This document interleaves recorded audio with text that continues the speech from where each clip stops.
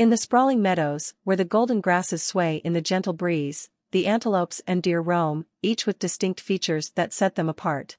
Antelopes gracefully roam Africa's landscape and certain regions of Eurasia. At the same time, deer traverse the Americas, Europe, Asia, and even parts of Africa, embodying a widespread and varied presence in the wild.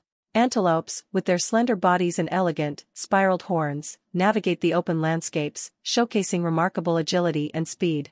On the other hand, deer, characterized by their more robust build and branching, often forked antlers, move with a majestic and regal presence. Their antlers serve as a symbol of strength and dominance during mating seasons.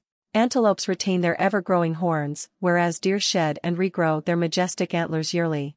While both species are herbivores, their dietary preferences vary. Antelopes often graze on various types of grass, while deer eat varied seeds, crops, leaves, and grasses.